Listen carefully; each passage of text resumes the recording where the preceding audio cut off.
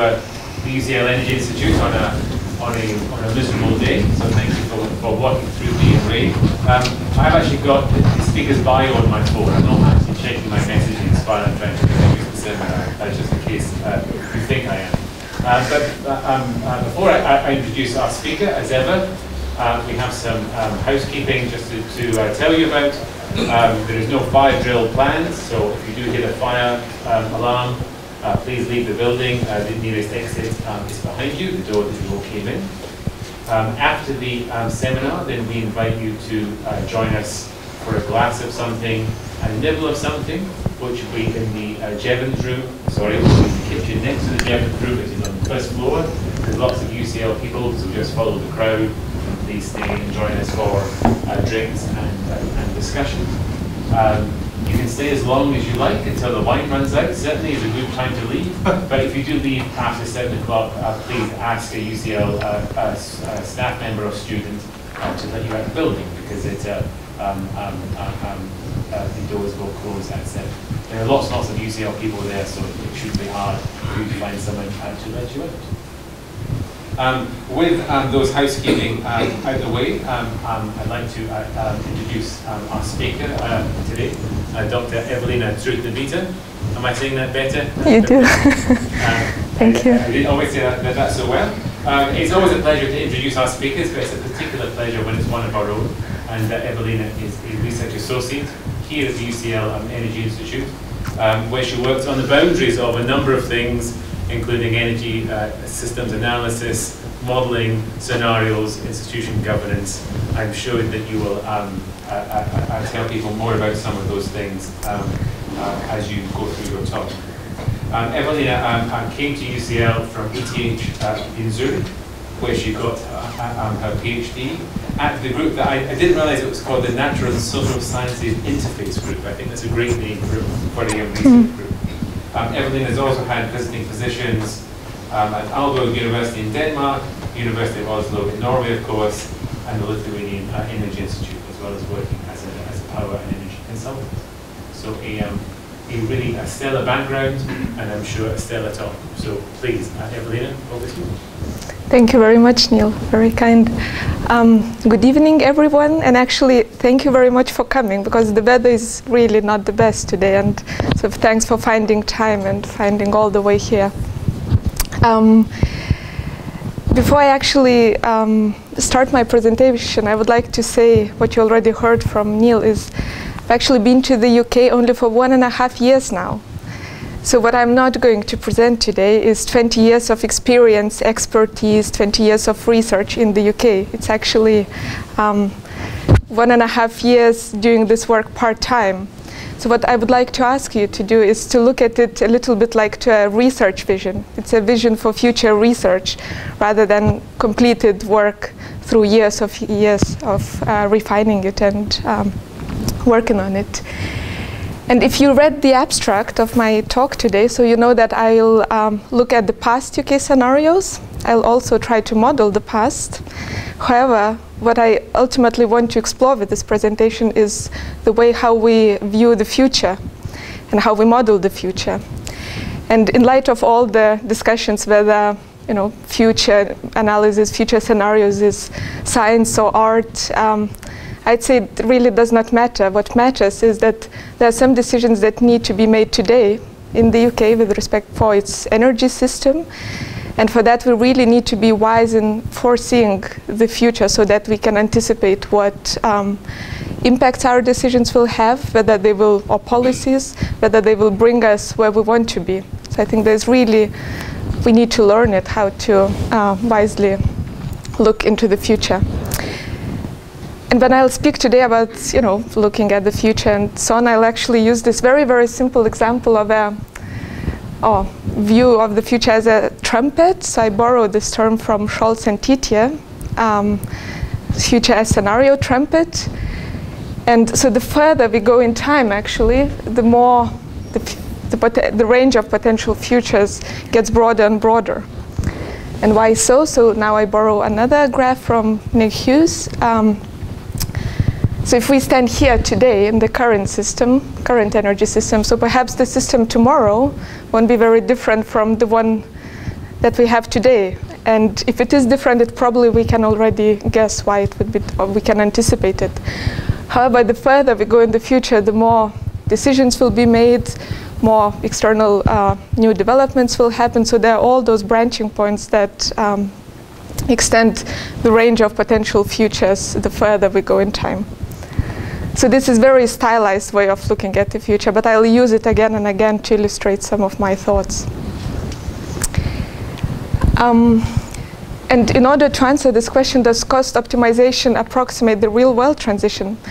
I'll start by looking quite broadly actually at the um, past UK scenarios. So I'll analyze the past UK energy scenarios. And I was actually wondering whether someone knows or would like to guess when were the first energy scenarios developed in the UK.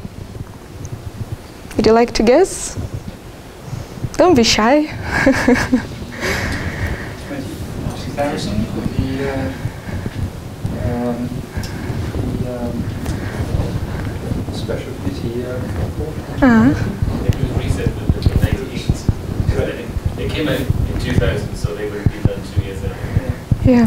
So actually, I would have thought that you'll guess, you know, 1950s, 1960s. Well, um, the fact is that the first UK energy scenario was developed in 1978, just after the first um, oil crisis, which actually illustrates the fact that we need scenarios the moment we need to make decisions. So until then, we already, UK had the energy system already, but there was no really need to look at it. But the, you know, when the vulnerability of the system um, came at risk, um, there was interest of anticipating the future and may for be, to be able to make um, decisions. So it all actually started with um, at the UK back then Department of Energy, who were preparing their green paper on energy as response to the first oil crisis in 78 and and they were quite explicit in their aim, saying that uh, with this scenario, they aim to set out the government's energy strategy and they would like to, they welcome feedback on it, so they would like comments on it. Um, so they used um, extrapolation, they called their scenario a forecast. Um, and they also stated that they looked at a wide range of possible futures, which I find it a little bit funny considering that there was one scenario that represented a very wide range of potential futures. Um, so here, for instance, I depict the scenario now for the uh, primary total primary energy demand on the UK as a whole. So that's the scenario. Now I'll be kind of plotting other further uh, other studies on top of it.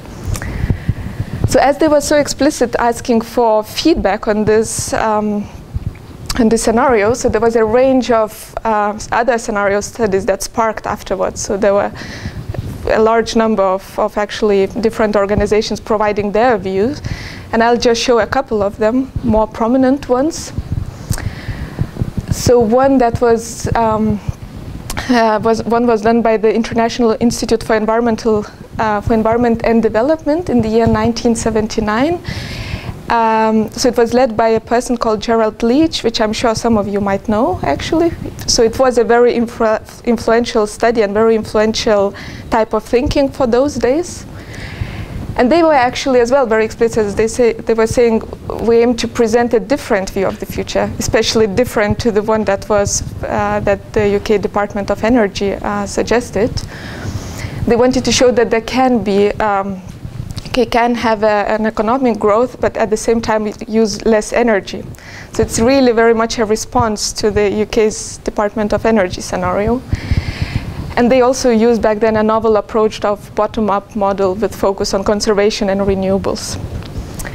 So here they had two scenarios, low growth and high growth scenario. Um, and here they plotted and compared um, with the UK Department of Energy scenario.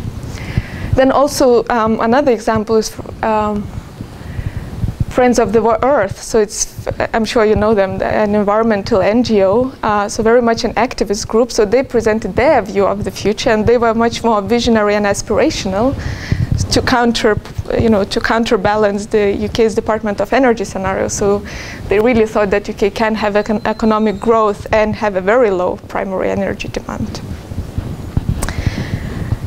So what you can actually see here is, you know, now I'm taking this scenario trumpet idea, and you can see that different organizations, they are here in colors, they're actually very much presenting a very um, wide range of potential futures. And just a thought on it, actually, it's it's nice to see that, especially by looking at the different views, even if those views are very extreme, you actually can get a wide range of futures covered. So UK Department of Energy then updated their, you know, their scenarios in, in light of various discussions and uh, various other scenario studies. So it was again still an input for the green paper. They probably, my feeling is, were criticized for having one scenario, and so they felt like justifying the themselves, saying these are not predictions of what will happen necessarily so they used the same method, uh, extrapolation, and they still stated that they provide a broad quantitative framework of consideration of energy strategies. So in light of all those uh, scenarios I showed before, so that's this very broad quantitative, you know, consideration of the future. So, you know, they kind of um, got closer to um, the center of all other scenarios. And what I think, to some extent, what is happening here, and, and I do once in a while see some evidence of that also, you know, in, in research today is something I would call scenario whirlpool. So even if we have very broad, very different views, through discussion, through kind of um, you know feedback to each other, we narrow and narrow down because we don't really, perhaps to some extent, don't really want to necessarily keep those extreme views. And however, it does narrow our understanding of what potential futures can be, and I think there's always a need of caution at that point. So that's what I think happened here from this wide triangle of trumpet of potential futures, the wide range of the Department of Energy considered was actually quite narrow. Then, in the year 1982, actually, the first UK energy systems model was built. Um, which was called Birmingham Energy Model, and it was led by a person called um, Stephen Littlechild, that I'm sure some of you know as well, because I'm told he was the first head of, of Ofgem. It's a very prominent person. And what he actually did is, um, so he went to the US and saw that um, back in those days, there was the first um, energy system models developed you know, in Europe and in, in the US so for instance, if you know Markal, which is an energy system model, so here I have user manual version 2, which is year 1983. If you would like to have a look at it afterwards, you can do it. So it was state-of-the-art research back then. So he went to the US, he came to the UK and he told, look, the state-of-the-art research is to develop energy system models, so let's do one for the UK now to support our decisions and policies. And so it was a cost optimization model, and it aimed to compare optimal strategies for the UK energy sector under various assumptions. And it was, it was not neither Markal or Times, but it's a similar type of a model, cost optimizing model. And I assume that some or many of you probably know what cost optimizing energy system models are. But if you don't, I would actually like to invite you to look at the UCL Energy uh, Institute website because we have a website of Energy Institute's models. And there you can see you know, a range of various models we have. So one of them is, for example, Markal that was used um, quite a lot in the UK. And it is a cost optimizing model. And here I just wanted to show you the definition. And you can read more about it. Um, so it aims, so such a model aims to minimize discounted energy systems cost under a variety of physical and policy constraints. So from a wide range of possibilities one has in the energy system, cost optimizing energy system models likes for the solutions um, that have the lowest cost under different constraints. Now back to the Birmingham energy model. So that's the kind of, um, that's the range of futures, that's their scenarios, four scenarios that they've developed with the model. Um, interestingly enough, so the most actually extreme scenario is no nuclear scenario just because actually the previous scenarios, none of them really considered a no nuclear case. But in between, the Three Mile Island uh, accident happened, so there was also this rush in the UK energy system or energy expertise to look for, you know, what if there's no nuclear.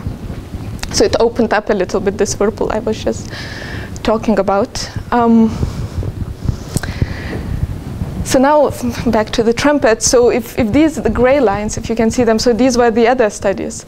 However, the Birmingham Energy Model, which is a you know energy system model, it does did cover a very wide range of futures, and I think that's although it's a very small sample of scenarios I'm looking at, it's something worth noting because you know energy system models are often criticized for being linear and perhaps not very you know they can't model the radical transition or something, all these types of arguments.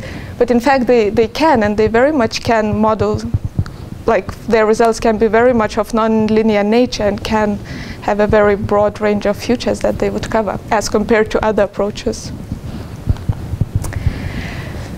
So now I hope by now was I got you wondering, so what was the actual transition? so maybe I give a second or two for you to make your own guess uh, silently what you where you think the future was. Perhaps you know.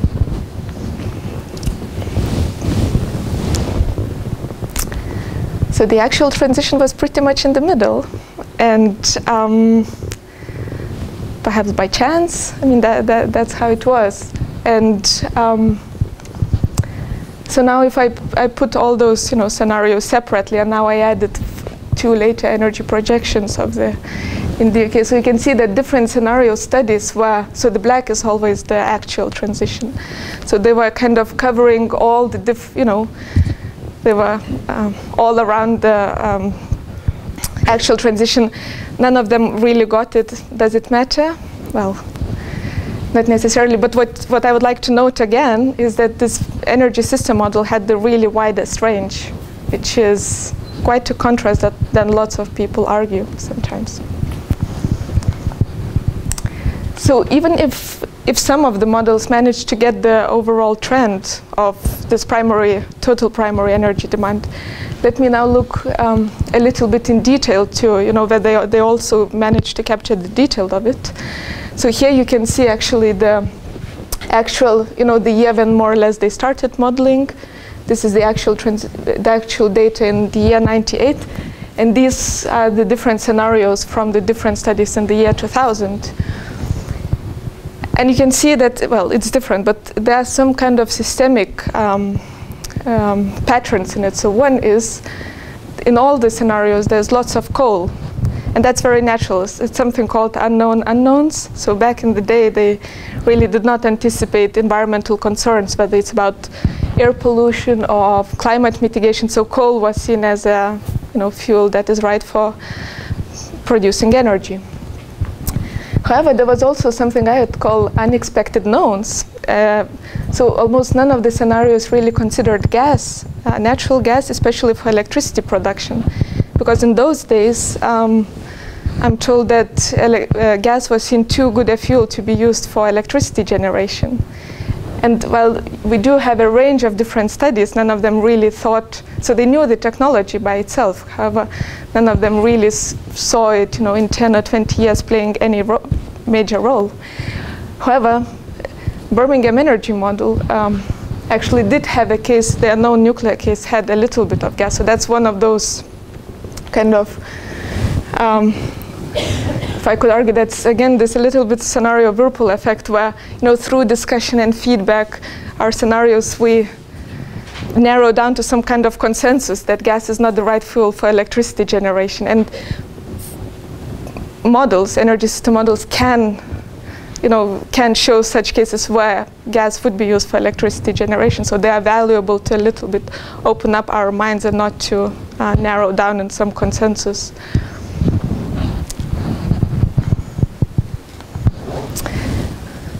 Then I also, what I also looked at is I looked at the key parameters that they thought will really shape the very different futures, what they thought are the key aspects that will lead to different futures.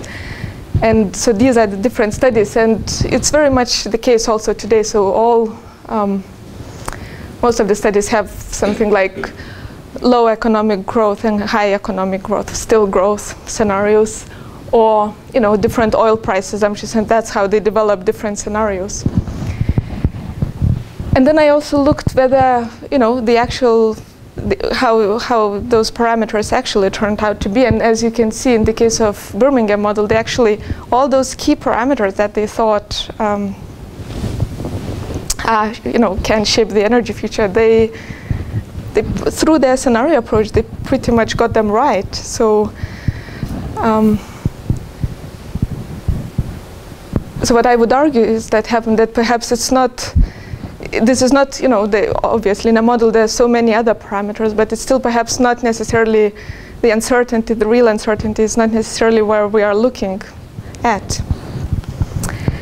So let me come back now to this uh, trumpet again. So what I think might be happening, and that's what I'm trying to inquire with my presentation and my work, is so if you if you have a wide range of futures, this trumpet of wide range of futures, so your model always will cover a small set because you can't model everything and you know foresee all little bits and pieces.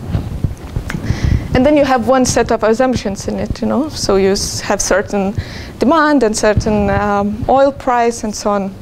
And when you cost optimize, you perhaps find, uh, you know, from all the space of possibilities, you find one scenario that you are looking at.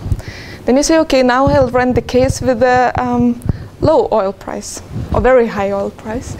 So you have another set of assumptions. You again optimize, so you find another cost optimal scenario.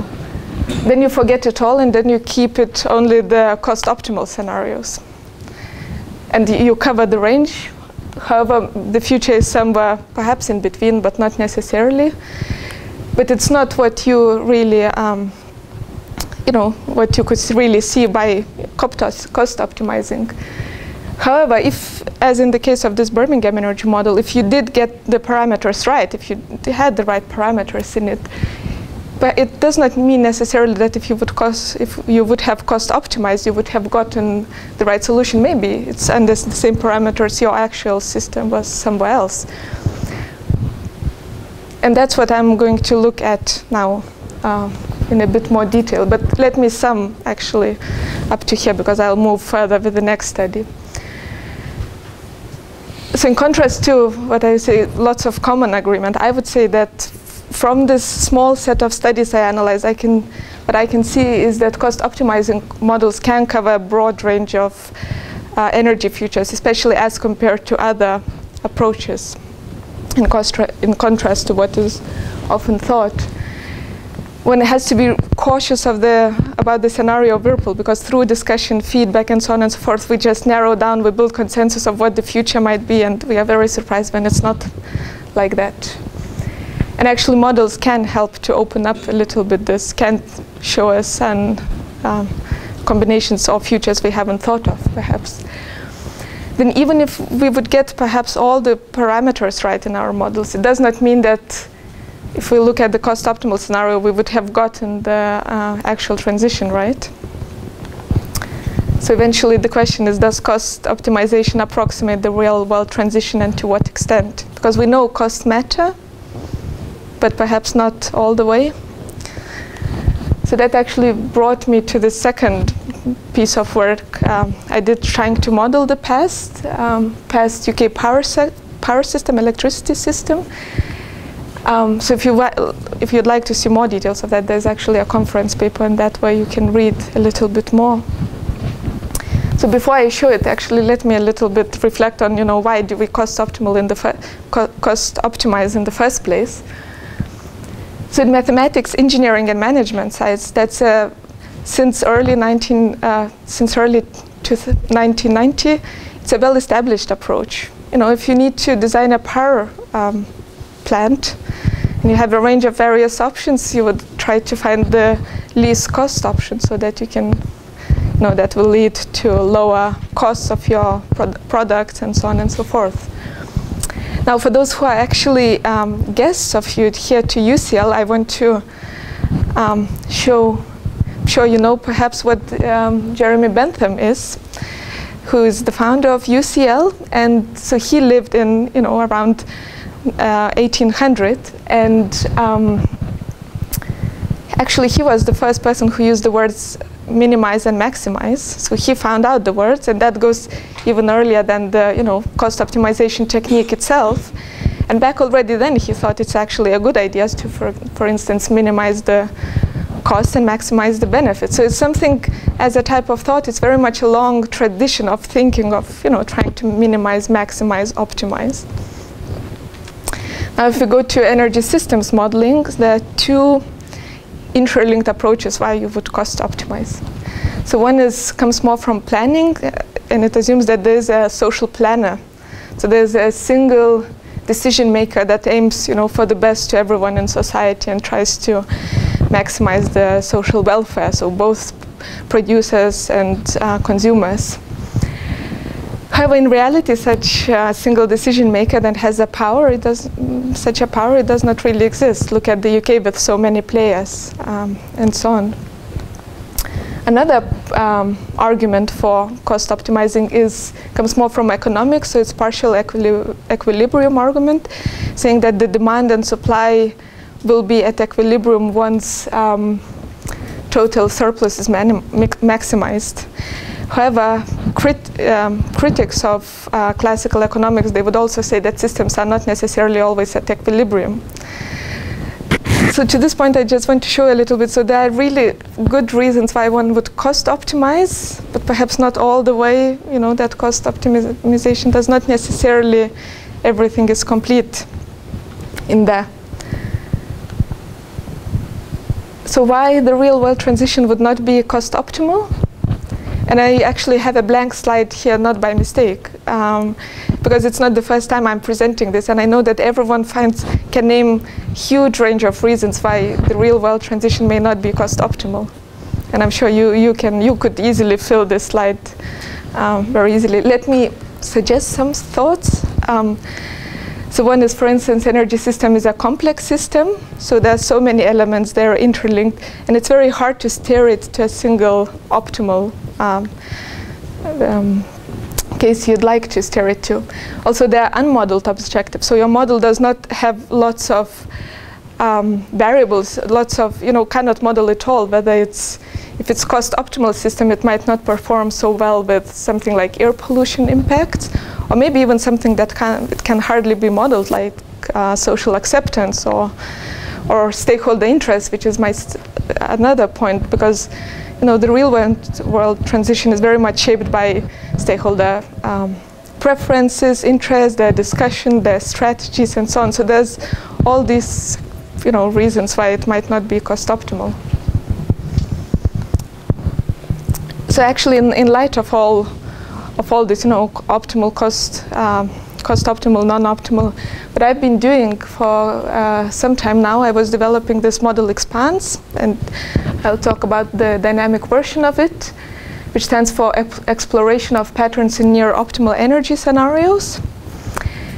And I would say it's a good model um, because it has four features, and so it builds, as the first one, it builds off something old and really well established. It's a bottom-up technology risk uh, rich cost optimization model. So it's something that has the same structure as TIMES or Markal or many other models. So it's built on something widely used, well established, and so on. However, it also has three um, other features. So it can systematically explore near optimal scenarios. Um, it can look for patterns in this because there are lots of a large number of near optimal scenarios. So it can look for patterns, you know, try to learn wh what's how the near optimal scenarios look like, and it can also look for develop a small set of uh, maximally different scenarios because there's so many scenarios, so you need to perhaps have a small number of them to really analyze. So let me show a little bit how it works. So what I would like to uh, present today is um, actually not trying to model the future, but I'll, I'm pretending now that I'm living in the year 1990 and I'm trying to you know, model the next 40 years. So it's pretty much what we do today if we model from 2010 to 2050. So I'm just modeling from the year 1990 to 2030. So I have 20 years of the past and 20 years of future that is still to come. And what I did, I actually used the, as well, as precisely as I could find the historical data, so the actual data of, for example, electricity demand, actual plant retirement, power plant retirement data, as precisely as I could find um, actual cost and technology characteristics. I assumed, you know, in 1990 I don't yet know about, although the climate debate was, was starting already, but I assume I don't yet consider it um, very seriously. So I'm just, um, yeah, I'm trying in 1990 to think about the future. And just let me kind of tell it once again. So I assume that in that year I guessed almost all the parameters right. So I guess the, I knew the costs right and demands right. So all data that I would feed into a cost optimizing model, I assume I, I, I got them right. I managed to guess them correctly. So how does D-EXPANSE works? Um, so you start by, like any other model, you start by finding the cost optimal scenario. So the scenario with the least cost and under, you know, different supply demand um, constraints or technology data resource constraints costs and so on and here I'm, I'm afraid now you probably you can't really read it I'll try to read it for you so here so that's the um, cost optimal scenario the modeled one it goes from so on the horizontal axis you have years from 1990 to 2030 and that's the installed capacity of different types of power plants by, by fuels. And you can see that in the case of, um, so these near optimal scenarios would have had you know, quite some coal and then uh, nuclear, uh, the gas, deployment of gas power plants would start in about 1915. So would um, onshore wind power plants, and there would be lots of import. Was reality like that? Well, not quite. Um, so there was, as you know, the dash for gas in the UK in the 1990s, which um, shaped the whole, you know, portfolio of power plants quite differently. There wasn't, so the offshore wind also took off um, as modeled, but there was less and less coal in, li in, in light of environmental concerns and so on. And so yes, my cost optimal scenarios, even if I would have had all the parameters right, would not be would not be able to really repli replicate this um, actual transition. Perhaps it does not matter. I think what does matter is that if I look at the total cumulative cost in 20 years, so the total system costs, the actual transition was 17% uh, more costly than the cost optimal pathway. So perhaps the cost optimization is not necessarily a you know, um, the right way to, you know, narrow down the, to, you know, to, to develop your scenario. However, it's 17% lucky. I mean, it's, it's not 100%, it's not even 99%. So it is, it's somewhere, you know, it's somewhere not too far, I would say, but, so it's not directly the opposite, but it's not cost optimal precisely. So then what D-EXPANSE does, it can actually explore this near optimal space. And that's you know one of the reasons why I used, I prefer this model, in fact.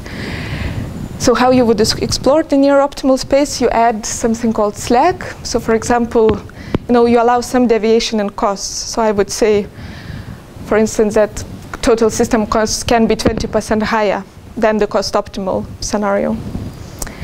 And then I use efficient random generation technique to uh, develop a large number of scenarios because there are really lots of uh, near optimal scenarios. And let me just say it again because I know it never, it's never too little. It's actually the same set of assumptions. So it's the same parameters, everything is the same. What I'm varying is this deviation from cost optimal, from in cost, you know, I allow some deviation in cost. While the technology specific cost demands are all constant. Um, so how does efficient random generation work? Um, did I, have I been speaking for 45 minutes already? No, you've been speaking for half an hour. Oh, okay. Sorry. it's wrong here. So let me show how it works, this efficient random generation. So um, imagine there's a system with, a very simple system with four uh, types of power plants. Uh, solar, gas, nuclear, wind and I don't see, uh, don't show wind because it's only three dimensions I can depict. So if we would need to supply, you know, we have a certain demand and we need to supply it with these types of power plants, if we would add all the technology constraints and so on, we perhaps would get a cube. it's not necessarily a cube. I very much simplify, um, but it's just an example, you know, how it would work. So this would represent all the space of combinations of these technologies to supply the demand. So it's there's and there's really lots of combinations, you know, 10% gas and 20% solar, or 15 and 5, or 15 and, and so on. So it's always 100%, see. If I would cost optimize, uh, um, I would get only one point in this whole space. So that's a way to narrow down this whole space to one point. So now what the, uh, the EXPANSE does, it's, so I assume the slack, I say that my cost should not be higher than 20%, for example, than the cost optimal solution. And I, you know, all the more expensive um, scenarios, I just don't consider them, and I look only in this space of all feasible scenarios that are in the range of near optimal scenarios. And there are really lots of, like really still very lots of scenarios. So the difficulty is how do I actually learn what kind of scenarios and uh, how do I understand it. So by this efficient random generation technique, and there are various techniques to do it, I actually, what I try to do is I try to sample the vertices of the space. Because by you know, knowing the vertices, I can kind of understand what's in it, what's inside the space. So let me show, I know perhaps this is a little bit complicated, so let me go again through the same procedure now with uh, you know, another format, so with the trumpet. So now I, I, have the EXPANSE model, and I, am completely aware that it cannot cover you know, the whole range of potential futures. So it can cover a small range and a set of assumptions I consider, and I already think, you know, I know that I got the assumptions right. So if I would cost, uh, find a cost optimal solution, I would find one solution.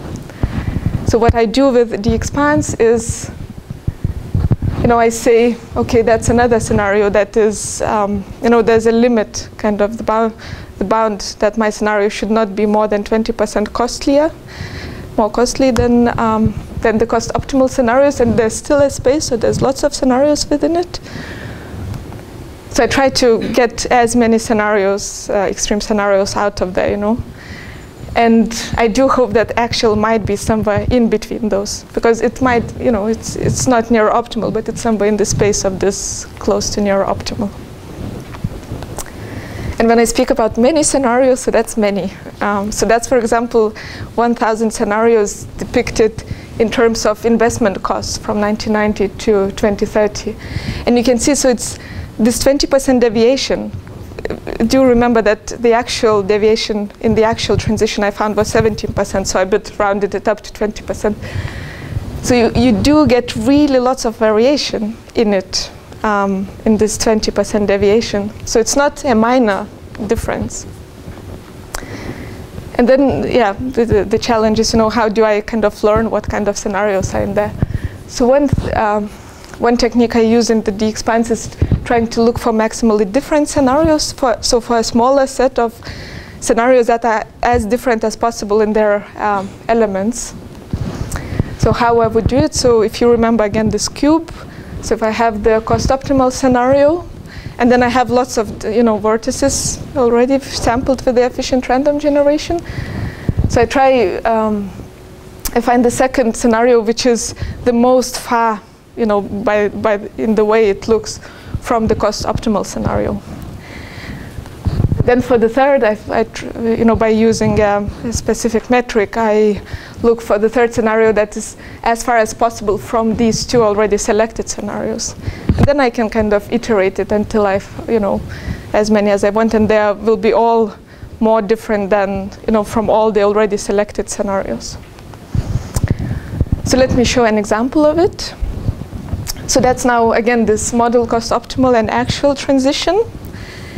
And um, so for instance, the first near optimal, uh, maximally different scenario that I would select would be something like that. So it would have lots of nuclear and oil.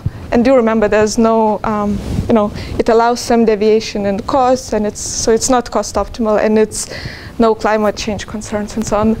Could it be? Well, it could uh, in total system cost is not much more different from cost optimal pathway than the actual transition was, a little bit different. Um, another scenario, for instance, would see lots of gas or lots of nuclear and biomass, so I didn't have here biomass constraints. Um, another scenario, so you do actually get really lots of variation in this near optimal space. I would say even unexpe unexpectedly a lot. And that's something not to, you know, I would hope, well, I would think that cost optimal scenarios should not really gloss over around this, over this uh, variance in what might be in the near optimal space. Another way to look at it is actually to um, look for patterns in, because it's large numbers of scenarios, to, so to really try to kind of use data mining techniques, statistics, visualization to understand what kind of scenarios are in there. Um, and here I, I, just want to mention there was this workshop in March we had at UCL, Energy Institute, on innovative scenario techniques. And I do feel it's a rising field or, or expanding field, developing field of um, in energy research, in environmental research, because we can generate so many scenarios now with our model. So how do we really understand, you know, wh what it means and so on? So we had a workshop at UCL on that, on discussing those methods, how to work with large numbers of scenarios.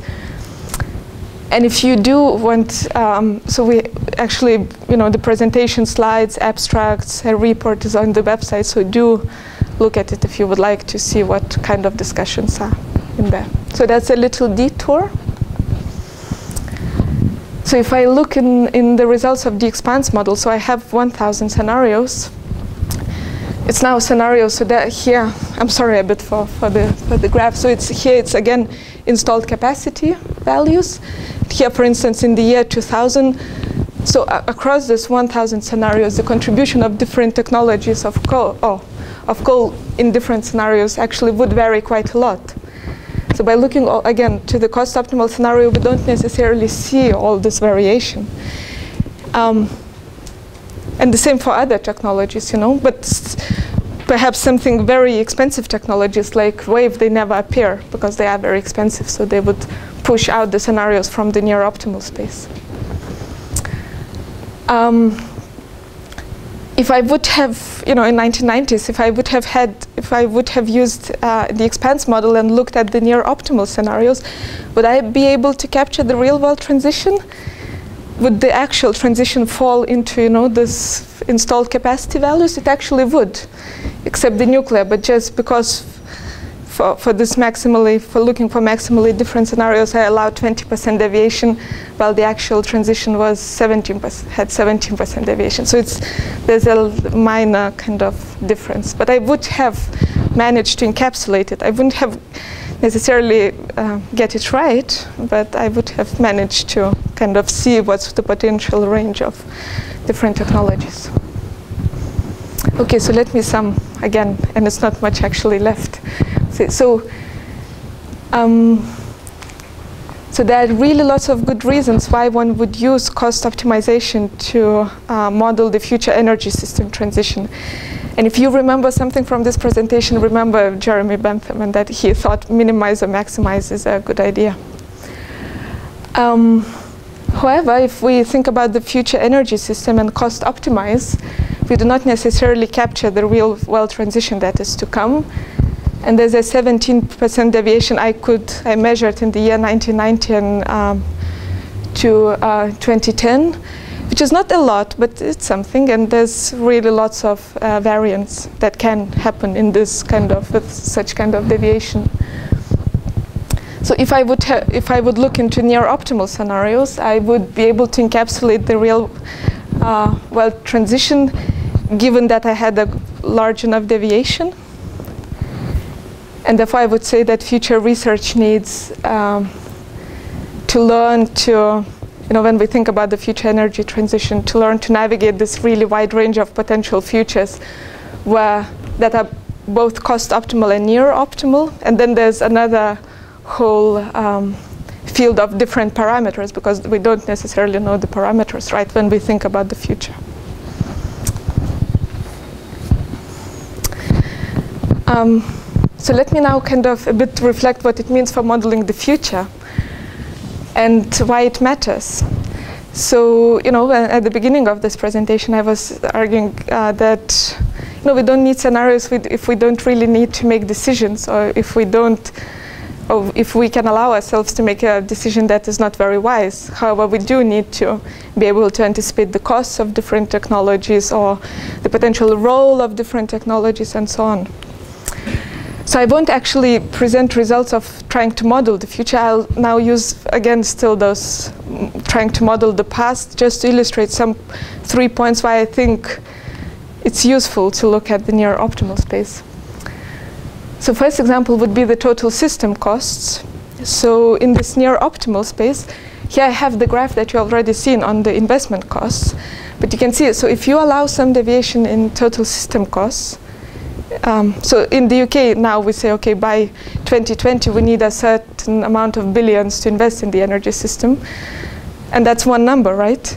However, in fact, um, you know, if you would look at, given all the parameters, you get them right, if you would look at to near optimal paths, you would get quite a range actually of different possibilities. And that I think is not to um, underestimate. Another example is again the graph you have seen is technology deployment. So again, if we just cost optimize, we you know we kind of get certain values of what's the how different technologies would be deployed. However, again, there might be quite a range. You know, this is not so big, but for some technologies, there can be quite a big range. And what is interesting, actually, that cost optimization does a little bit um, underplay the role of more expensive technologies such as, I don't know, solar or something like that. So there are some scenarios that are still near optimal based on the, depending on, you know, what else is in the electricity generation mix. They can play some role. And, you know, are we not really kind of um, potentially underestimating their role when we look only to cost optimal scenario? Because in the cost optimal, that's zero. Um, Another example would be the option value example. Um, and I don't have a complete example either, but if I would, you know, if I would run this model now from 1990 for the cases with and without nuclear, um, and that's again the investment costs. So I would get quite a different spread of, you know, how much would be would need to be invested by then. So when you evaluate option value of different technologies, you just do it with total system cost, not investment cost. But what this means, so if I would try to um, compare them, uh, so what this would mean, let's say, you know, investment cost by the year 2010, um, so the case with nuclear, you know, it's, it's higher. It's clearly it's higher because uh, nuclear was in lots of um, you know, also in the cost optimal mix and so on. And the and the case without nuclear, I think it's mixed up actually. Um, it's different. However, the key point here is that if you try to compare these two values, you know, if you would uh, evaluate the option value, you might get a certain, you know, a certain large value. However, they are not necessarily that different. So there are so many very similar um, cases. So these are just three examples why this would matter, and that's why I think we would really need to look at the near optimal space. So let me now sum up actually um, and finish the presentation. So does cost optimization approximate the real world transition, and is it useful to use for? Um, well, does it approximate? Let me first ask that. Um, not necessarily, but it can still provide a good tool to understand the potential range of futures. And there's really not much we can, kind of other tools we can use for that. Um, I would though argue that uncertainty around cost optimizing rational is at least as important as the parametric uncertainty. But we have been so much kind of looking at the, you know, what if we have different parameter values, and we didn't look at what if we don't cost optimize. Um, so if we would look at near optimal scenarios, I showed with my example of retrospective modeling that we would be able to at least encapsulate this uh, real world transition. There's still some you know, difficulties in that, so what's the deviation one could allow? So, and thus I would argue that future research needs to look also to near optimal scenarios, and I've been doing my contribution to that by you know, developing this the EXPANSE model that um, looks at near optimal pathways or scenarios but also to this IQCN workshop where kind of learning how, you know, there's so many scenarios in the future. How do we uh, manage to find patterns in it? And actually, that's it. So I'm sorry if I'm a little late, but that's it.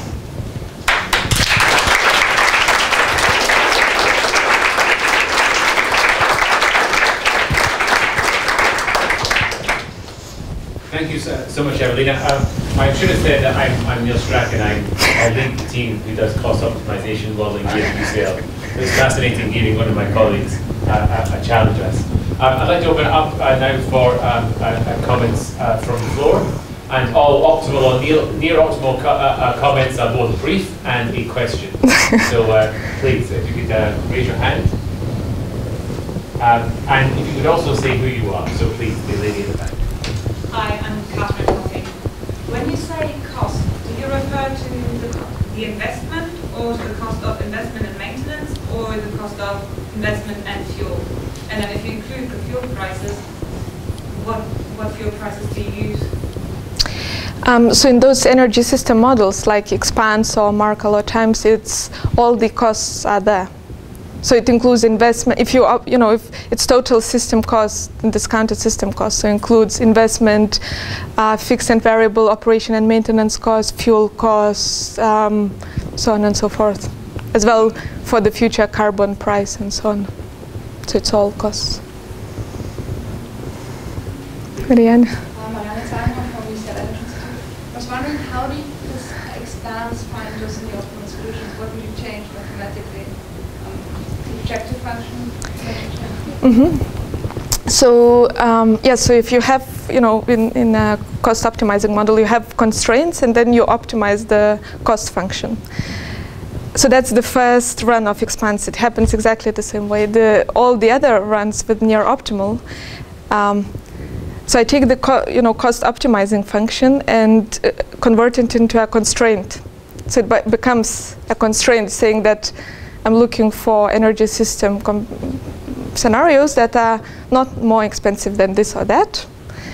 And, um, and then this, I use this efficient random generation techniques, which kind of there's a systemic but random way of constructing a new objective function, which allows you to end in all those different vertices. So cost, in other words, cost becomes a constraint, and I have a new objective function that kind of generates me. And then I run it for every for every scenario. I run it again and again and again, and I get different and different scenario every time. I show you.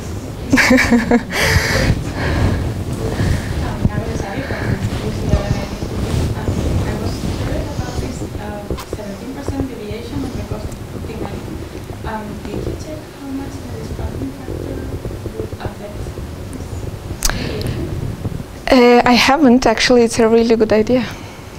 Didn't cross my mind until now. This is still this one and a half years problem. I'll do. It.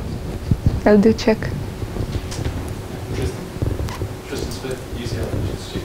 Seventeen percent seems quite small. How are you confident that it's not uncertainty in your cost data, even if you're doing this retrospectively with the benefit of hindsight, that is what you're observing and, and not just the rationale being Mm, true. So if I had lots of time, what I would really love to do is to actually look at everything all together, you know, to add variance in different parameters, variance around, um, you know, cost optimizing or near optimal pathways. And also another thing is, you know, whether, I mean, when we run models today, we run it with cost expectations, so the costs we expect and there is data on actually what they expected cost to be in 1990. So I could actually also do that.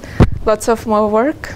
But um, yes, I, I, would, I would really like to, um, to look at it.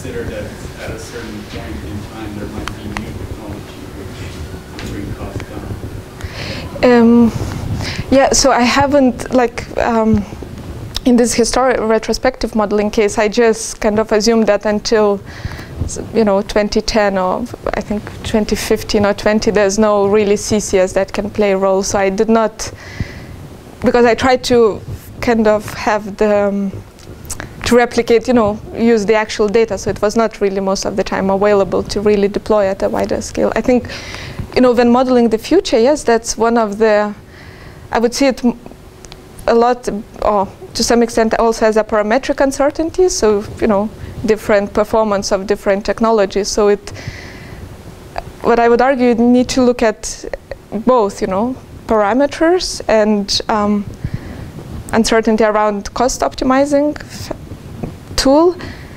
And then you still know that the future might be, you know, broader as the scenario trumpet, and you probably won't cover necessarily at all. I would- like to use my position as a chair to ask a last question, and it's about policy, so I'd invite Alec Waterhouse from DECC if he wants to uh, comment on this. And the question is, what should policymakers do with this near optimal idea? Because on one hand, it gives them um, um, a view of a, of a solution that they may have not seen before. And on the other hand, it's really hard to make policies, make decisions that involve lots of money and, and are risky. So, I, I, I mean, how, how should policymakers use this? I think it's something I would see a little. I think it's something that needs more thought, you know, to really because it's cost optimizing is good because it it gives you a, you know one a couple of solutions that you really can go through and really comprehend quite easily. Models like the EXPANSE gives you really ranges, you know, so you really need to kind of learn to think, you know, that there might be really lots of different uh, options and so on. So it adds more complexity to it. So it, it has a little bit of a um, downside. However, I would say, you know, you could test policies on that model. What you have to know is you might not get, um, you know, an answer like option value of technology X is 8 billion. You might get it that it's from 3 to 9 billion. But that's all, I mean, to some extent, I think it's also about developing better policies in a way that you are much more open to really a broader range of futures that are as likely as the cost optimal one. You don't have to, Alec. You'll- I'd say three things really. One is that remember, if we look at DECC's forecasts or projections into the future, um, we recognise the, uh, the codes of uncertainty and that make some attempt to model that by looking at Monte Carlo simulations, altering the parameters that go into that. And we don't use the same techniques as you, which are fascinating. Uh, the second thing I think uh, is that is uh, we're, we're we're interested in modelling uncertainty and then looking at government po- uh, policy uh, as a way, a strategy of dealing with that set of uncertainties rather than, uh, I think naively, we might be in the past thinking about a single point and then dealing with that and then thinking, oh my God, we if we've got it wrong, then uh, things go really good. So if, we, if we're modelling to actually help our policy colleagues understand the range of uncertainties such that they can make policies that deal with that. Yes. Um, so I'm thinking of, um, uh, what was it, um, contracts for difference, for example, allow that sort of behaviour where we know that there's the future's uncertain, but we can actually uh, design a policy that copes with that level, with copes with that uncertainty to a degree. I think those are, those are a few things that I think are, are worth thinking about. And then I was interested when you were saying, uh, when you were talking about modelling uncertainty, you said that all of those futures are equally likely. I didn't know whether you were actually talking about equally likely or not all of those or not. Because as you said, Newton, I was trying to ask the question really as to uh, how you were modelling, whether or not you've got any idea of, uh, of different degrees of uncertainty away from those parameters. Because it seems to me you were Mm. checking the objective function rather than what we were doing was looking at the uncertainty on the input parameters. Yeah. May I respond to Yes, that? we- we- We have one last question, please. Um, let me uh, answer from. Um, so, uh, you know, um, when I told equally likely, I think they're all. It's not necessarily equally likely, they are still likely. Not because necessarily they are cost optimal, so they can still be likely. Um, when you mentioned Monte Carlo runs, um, so the EXPANSE model, it's and Monte Carlo runs, they address two different types of uncertainties. So Monte Carlo runs would be run with um, you know different parametric values. with EXPANSE, you get this all variety of choice by using the same parameter values. And what you allow is just the difference from cost optimization. So it's, I think the best would be to, you know, overlap the two and really, you, you would have much broader range of futures. And then it's about, you know, learning how to work with it. And um, decision making. So uh, actually, let me just here mention again this uh, IQScene workshop that I showed, innovative scenario techniques that we had at UCL. So uh, I think that that's a growing field on learning how to, um, how, how do we make decisions, how do we draw patterns, how do we improve our understanding with this range of large, you know, large number of scenarios. And one of the ways, so we had probably six, seven themes, you know, and ways to look at it. But one of the themes was also um, robust decision making. So trying to make decisions that uh, perform fairly well and deal all the range of potential futures you are considering. And I think that's that's just kind of you know the next step you would go uh, after. And yeah, I, I met him actually last week. Yeah, yeah, and we had a person, Rob Lempert, coming from Rand Corporation in the US. So there's, uh, yeah, there's, um, uh, yeah, it needs to be learned how to do it. So if we have two quick questions, the gentleman in front, and then you want the last one.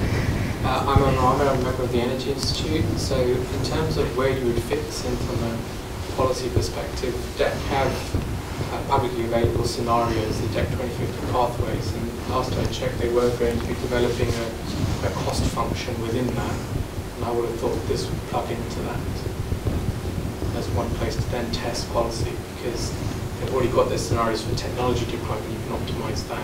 Mm. The bit they were trying to build in next was to cost those scenarios. Mm. Mm. So I mean, plug into that. Yeah, could be. I mean, it's even this, um, what's it called, the DECC 2050 calculator. Yeah. So And- the cost function hasn't been Yeah, added on. So it's post hoc assessment. But so there, because people can, you know, form the, the scenarios they like, and some people would form scenarios that are overly expensive just because they really want lots of renewables in it or something like that in it. So what the, the EXPANSE allows you to do is actually, um, yeah, it's it's trumpet and yes, but I mean I think it's also at times, you know, when different people, organizations say, you know, we can have this radically different future.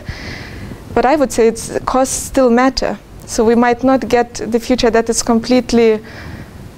I don't think we would get it completely, you know, the opposite of cost optimal on the other end of, you know, the whole spectrum. So you would get it somewhere not too far because costs matter, and the EXPANSE allows you to kind of consider uh, it.